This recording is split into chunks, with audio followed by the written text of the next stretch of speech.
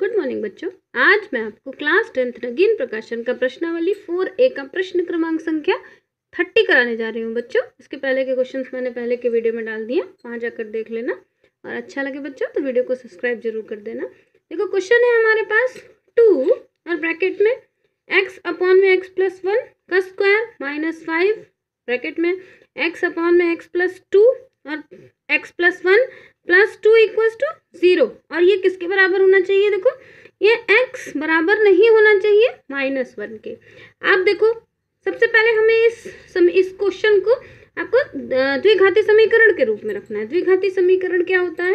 वो होता है आपका a x square plus b x और plus c equals to zero इस रूप का हमें रखना है। इस रूप का रखने के लिए हमें क्या करना पड़ेगा? आप देखो, अगर ये हम x अपॉन में x प्लस वन को अगर हम a मान ले तो ये हमारे पास क्या बन गया?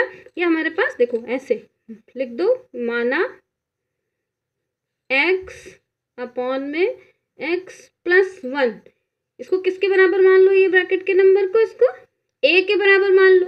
तो आपके पास समीकरण में देखो क्या आ गया? आपके पास आ गया टू इस पूरे को देखो, हमने क्या मान लिया? ए तो हमने यहाँ लिख दिया ए, स्क्वायर की जगह स्क्वायर लगा दो, साइन माइनस का फाइव। इस पूरे को हमने क्या मान लिया था? देखो, ए माना था, plus two equals to zero. अब देखो ये आपका इसी रूप का हो गया ना, a x square plus b x plus c equals to zero के रूप का बन गया। अब हम इसको क्या करना है? अब देखो, अब हम इसमें से, ये आपके पास, अब ये गुणनखंड विधि से इसके दो शून्य निकाल लेंगे। गुणनखंड विधि कैसे हल होती है? सबसे पहले क्या करो, ये जो नंबर टू है, टू से इसको गुणा करो, यानी ये ए हो गया, ये बी हो गया, ये सी हो गया। सी को हम इससे गुणा कर देंगे तो कितना हो जाएगा? टू टू सा फोर। तो फोर बीच का नंबर ऐसा बनाना है कि गुणा कर दे तो फोर आ जाए, और जोड़े या घटाएँ तो माइनस फाइव आ जाए। तो आप इसके लिए क्या करोगे, देखो, फोर का आपने एलसीएम निकाल लिया तो कितना आया? आपके पास आया टू और टू नंबर। यानी इन्हीं दो नंबर से आपके बीच का जो भी नंबर बनेगा, इन्हीं दो से बनेगा। तो आप क्या ले सकते हो, देखो, टू टू सा फोर ले लो और एक वन ले लो। कैसे लिखोगे इसको? पहले वाले नंबर को ऐसे ही लिख दो। टू ए स्क्वायर, इस बीच वाले को हम क्या लिख सकते हैं? देखो, साइन माइनस का लगाओगे तभी आपका साइन माइनस का आएगा। आपने लिख दिया फोर और ये एक ए ए भी लिख देना। अब यहाँ हम क्या लिख सकते हैं? इसको हम ले सकते हैं माइनस। और चाहे देखो, ए लिख दो और चाहे वन लिख दो, बात एक ही हो गई। तो हम इसको देखो, ए ए लिख दो। आप ए से आपको ज़्यादा समझ में आएगा। Plus two equals to zero देखो माइनस माइनस प्लस भी हो गया और हमने, ये देखो फोर से, देखो मल्टीप्लाई हो गया। फोर वन ज़ा फोर तो आपके पास मल्टीप्लाई होने पे भी, गुणा करने पर भी बन गया। अब इसमें से कॉमन ले लो। कॉमन हम क्या ले सकते हैं? देखो, इसमें भी ये है, इसमें भी ये है और ये टू और फोर से कट रहा है। तो यानी हम क्या ले लें? अगर हम यहाँ पर टू ए कॉमन ले लें तो हमारे पास क्या बच गया? ये टू ए बाहर चला गया। अंदर क्या बचा हमारे पास?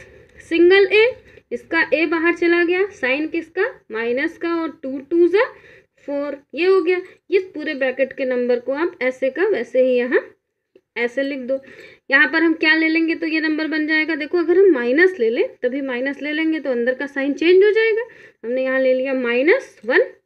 माइनस वन ले लिया तो देखो, ये जो ए माइनस का था वो ए यहाँ प्लस का हो गया और ये प्लस का था, माइनस का हो गया। दो शून्य का आपको कौन से मिल गए? Two. A minus one equals to उसको ज़ीरो के रूप में रख दो। तो आपके पास कितना हो गया? टू ए ये माइनस का था, इधर भेज दो। प्लस का हो गया। A equals to one upon two a का मान कितना निकल आया? वन अपॉन टू ऐसे ही यहाँ पर फिर से दूसरे वाले का निकाल लो। A minus two equals to zero तो ए इक्वल्स टू टू यानी ए के दो मान आपके पास मिल गए। ये, अब आपने आप क्वेश्चन में ऊपर देखो कि आपने माना था कि x अपॉन में x plus one equals to zero तो हम यहाँ क्या लिख देंगे? कि माना माना था, आपने क्या माना था? कि x और x प्लस वन अपॉन में हमने उसको इक्वल्स टू क्या माना था? A. अब यहाँ पर देखो, हम इसके मान को यहाँ पर रख देंगे, यानी देखो, x प्लस फिर से लिख दो एक बार प्लस वन और a का मान कितना आया? सबसे पहले पहला वाला रख दो। आपके पास आया, देखो वन अपॉन टू। एक्स का मान कितना है? One upon two. अब इसको क्या करो? क्रॉस मल्टीप्लिकेशन कर दो। क्रॉस मल्टीप्लिकेशन मतलब इसको इससे गुणा कर दो, इसको इससे गुणा कर दो। यहाँ पर देखो हमने गुणा करा तो कितना आ गया?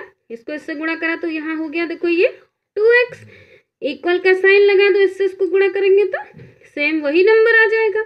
अब यहाँ देखो आपके पास क्या मिल गया आपको? ये टू एक्स और इधर इधर वाले एक्स को इधर भेज दो। तो आपके पास कितना आ गया? देखो, ऐसे लिख दो, टू एक्स।